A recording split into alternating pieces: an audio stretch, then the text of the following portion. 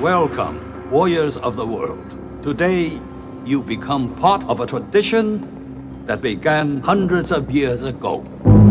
The kumite was first used by the Kokuryukai, the Black Dragon Society, to measure the fighting skills and spirit of its members.